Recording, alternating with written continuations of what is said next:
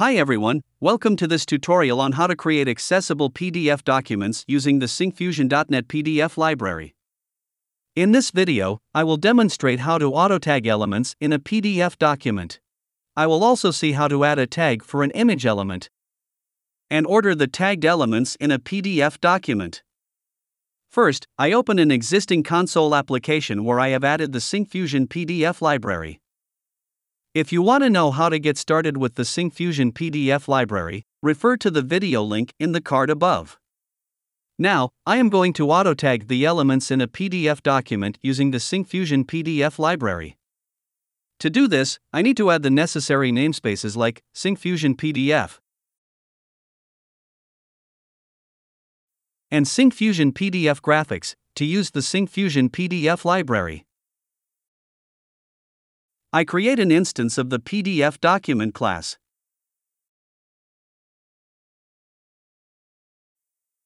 Then, I set the autotag property of the document to true. I set the document title to autotag.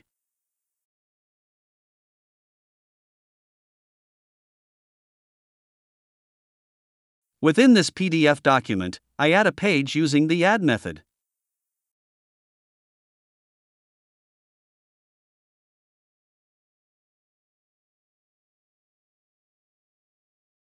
Next, I create an instance of the PDF text element class with the text and font.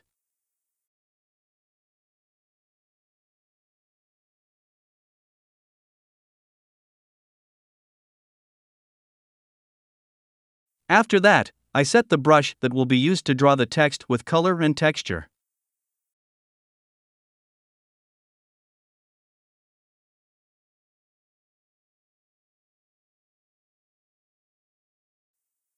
Now, I set the text element on the PDF page using the draw method.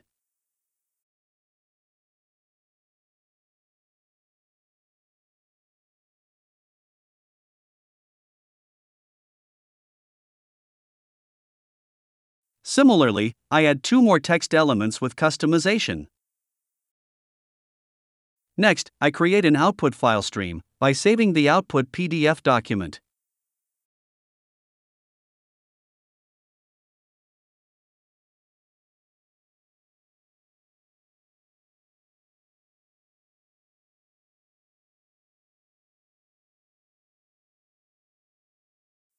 And save the document to the stream. Then, I call the close method to dispose all the memory consumed by PDF DOM as well as disposes its document stream. Now, let me save and run the application.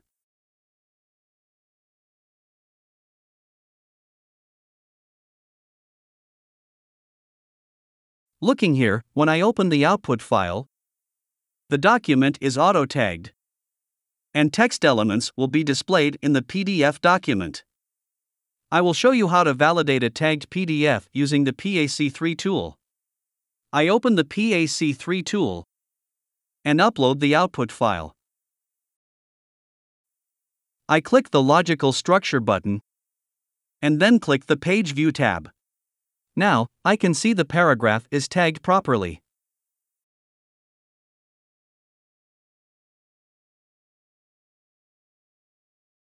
Next, let me show you how to order the tagged elements in a PDF document. To continue further with clarity, let me comment this code. First, I initialize the structure element with the tag type set to paragraph.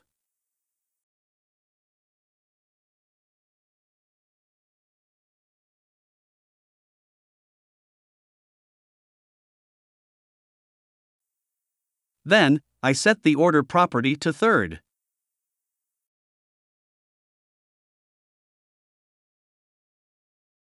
Next, I set the tag for the element using the PDF tag property. After that, I initialize the structure element with the tag type set to paragraph.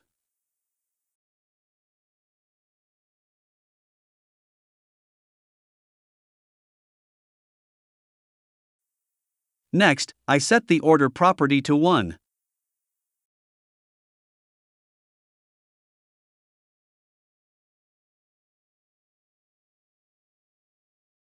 I followed the same steps to order as second and third paragraph. Then, I set the tag for the element using the PDF tag property. Finally, I initialize the structure element with the tag type set to paragraph.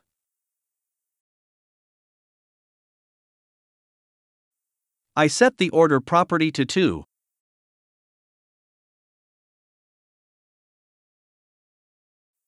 And set the tag for the element using the PDF tag property.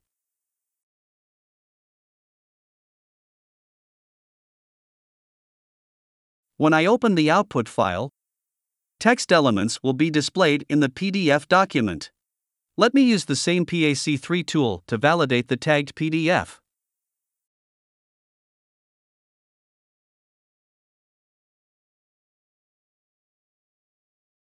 Set the order for the second element as 1 at the code level. So, the second element is selected in the page view. The order we give to the structure elements determines the order in which they are selected in the page view. Next, let me show you how to add a tag for an image element in the PDF document.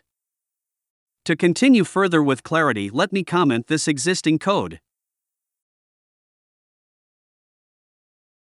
First, I am going to add a title for the PDF document, so I will set the title as JPEG image on the PDF page using the drawstring method.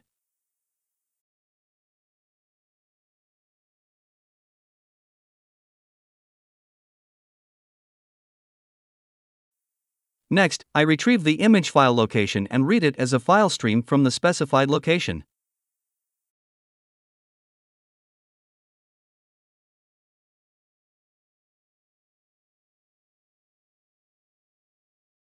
Following that, I create a PDF bitmap instance using the FileStream object to read the image stream data.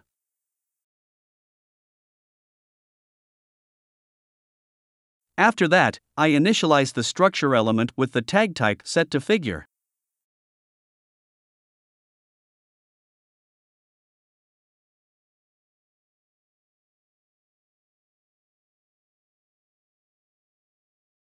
And set the alternate text with the structure element.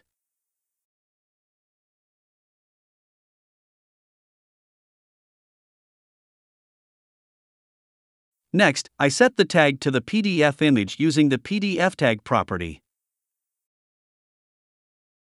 Finally, I draw the image at the specified location.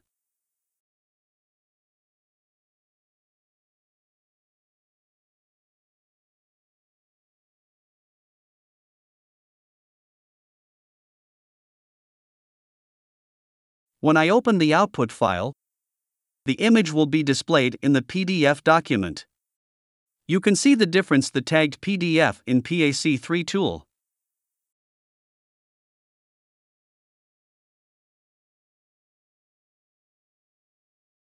Now, you can see the figure is properly tagged. Let me recap what I have demonstrated in this video. I showed you how to auto-tag the elements in a PDF document using the Syncfusion PDF library. I also showed you how to order the tagged elements and how to add a tag to an image. If you would like to see the working code of this example, you can download it from the GitHub link in the description below. I've also provided a link where you can see if you qualify for a free community license to use all our .NET products. If you found this video useful, don't forget to click the like button and subscribe to our channel to watch more videos like this. Thanks for watching.